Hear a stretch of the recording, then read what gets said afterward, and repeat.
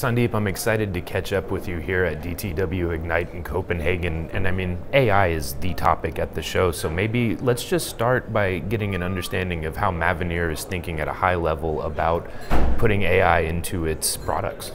As you know, in, in the industry, AI is the new buzz. You know, we are, we are all excited to bring this technology.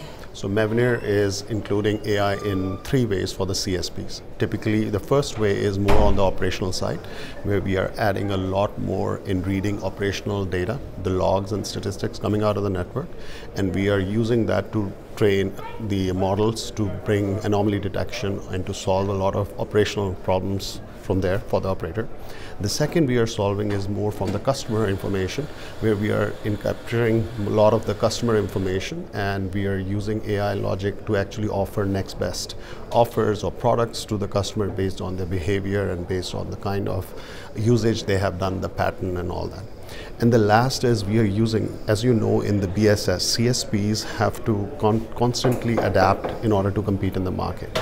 We are using AI even to solve the building the R&D problems as well. So we are using AI to build new new software uh, whereby our developers are able to build very high quality software using AI tools, which reduces the total time of development, increases the software quality, and so that's that's the yeah, I think there's been a lot of discourse at the show around this idea of uh, telecom operators really needing to get away from legacy mindset and think more like technology companies in this hyper competitive landscape. Do you think AI is the uh, tool that they can use to make that transition effectively?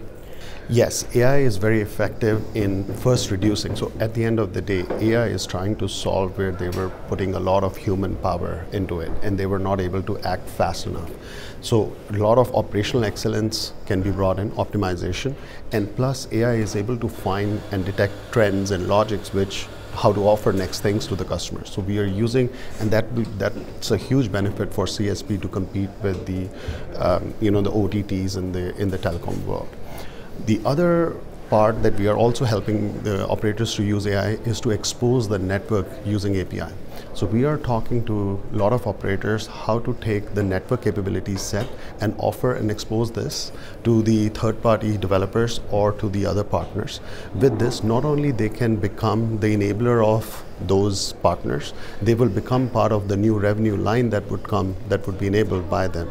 So that's a very powerful thing. In that in that fashion, we are able not only to expose the network function, but to help operators monetize new implement new commercial models for doing this.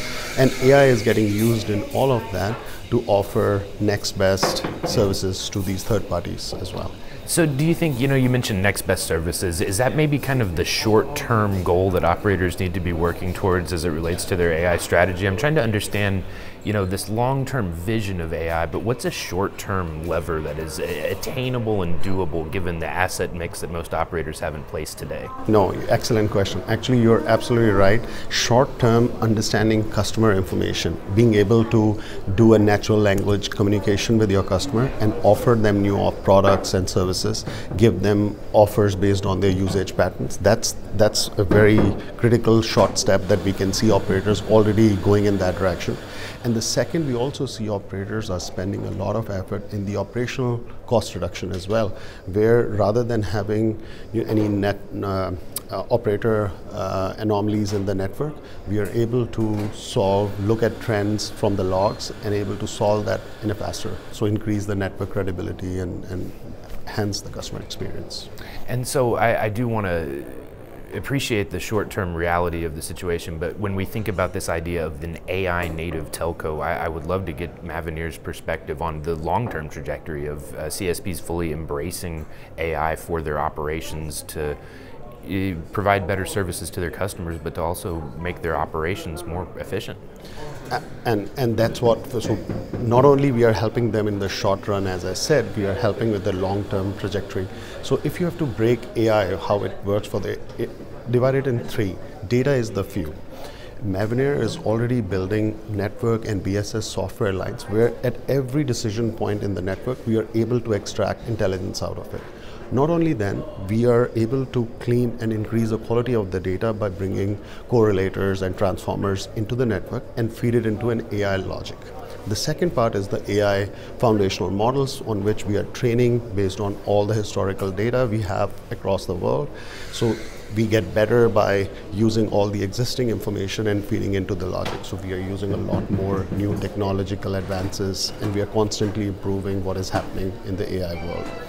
The third and the last piece is because of the capability of our net of our network function to be granular and have APIs, we can the the intelligence that is driven from the AI, we are able to execute on it in a very surgical fashion. So let's say we want to change the network parameter to better match or to reduce any future critical abnormality in the network. We are able to take that kind of a decision a lot faster in a very surgical fashion as well. So strategically, that's how we are helping the operator in forward-looking world where automation and AI would come in an autonomous network management and all.